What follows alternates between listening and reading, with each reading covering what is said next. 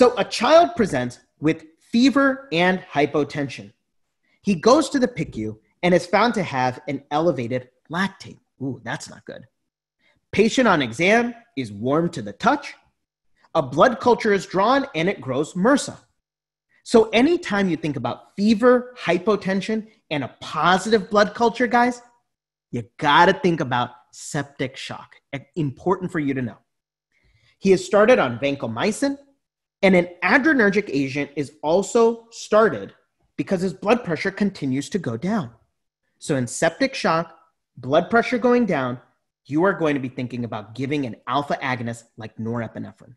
Norepinephrine is going to be a pressor that we use to increase the blood pressure.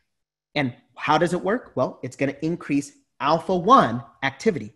And what is alpha 1? Well, alpha 1, kind of like my shirt, nice and stylish, GQ.